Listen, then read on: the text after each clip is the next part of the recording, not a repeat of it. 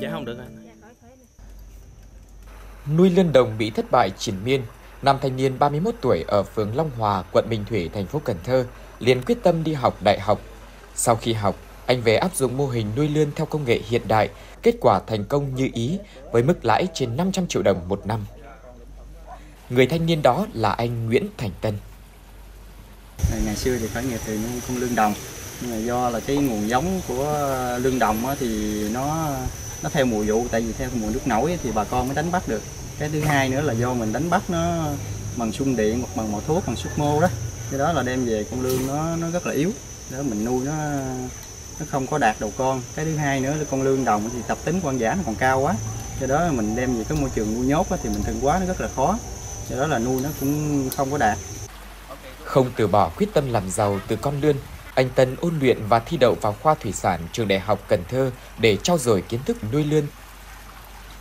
Năm 2010 thì bắt đầu là tôi à, thi vào trường khoa thủy sản của trường đại học Cần Thơ thì cũng theo chuyên ngành thủy sản để à, đeo đuổi cái ước mơ là học thêm những kiến thức về con lương cũng như là được tiếp thu những cái à, kiến thức của thầy cô đã nghiên cứu trước đó để về để nuôi nuôi ứng dụng, để nuôi mô hình nuôi nhà trong quá trình thì ờ, học thì vừa học lý thuyết trên lớp thì vừa thực hành nuôi ở nhà.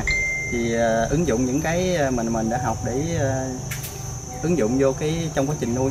Thì sau những cái lần ứng dụng như vậy thì tới năm 2014 thì coi như là cái mô hình nuôi đã đạt được cái hiệu quả nhất định để ứng dụng thành công cho tới ngày hôm nay.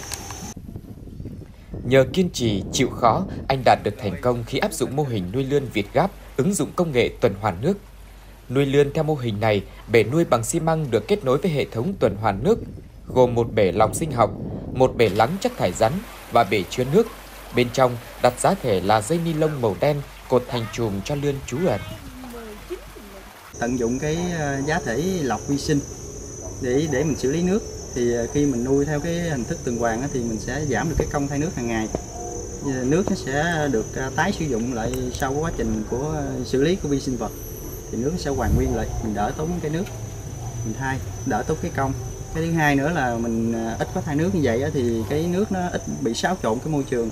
Thì con lương nó sống trong môi trường mà nó ổn định như vậy thì nó sẽ phát triển tốt hơn ít rủi ro bệnh tật hơn.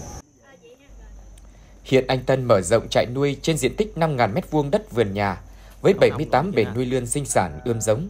Mỗi bể nuôi rộng 24 m2, tổng đàn lươn bố mẹ hơn 2,5 tấn.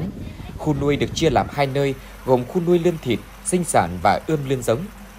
Bể nuôi cũng được làm theo hai dạng, bể xi măng ứng dụng hệ thống nuôi tuần hoàn nước, còn bể composite thay nước hàng ngày. Mật độ lươn nuôi trong bể composite là 450 con một mét vuông, còn mật độ nuôi lươn trong bể xi măng là 380 con một mét vuông. Thức ăn cho lươn chủ yếu là thức ăn công nghiệp với độ đạm 43%. Sau mỗi lần cho ăn, cần vớt bỏ thức ăn thừa để tránh ô nhiễm môi trường nước. Lươn sinh sản khoảng từ 6 đến 7 ngày trứng nở tùy theo thời tiết trong năm. Sau khi nở 7 ngày sẽ cho lươn ăn trùng chỉ. Đến khoảng hơn một tháng sau, có thể xuất bán lươn giống, lươn nuôi khoảng 10 đến 12 tháng có thể xuất bán thương phẩm. Hiện mỗi năm anh Tân cung ứng trên 300.000 con lươn giống với giá từ vài trăm đồng đến 4.000 đồng một con tùy kích cỡ. Riêng lươn thịt được anh ký kết hợp đồng cung ứng khoảng 4,7 tấn với giá bán từ 112.000 đến 115.000 đồng một kg.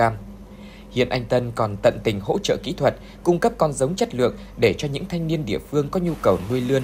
Anh còn thành lập hai tổ hợp tác nuôi cá kiểng và nuôi lươn với số lượng gần 20 thành viên để bao tiêu sản phẩm và xuất bán số lượng lớn ra thị trường.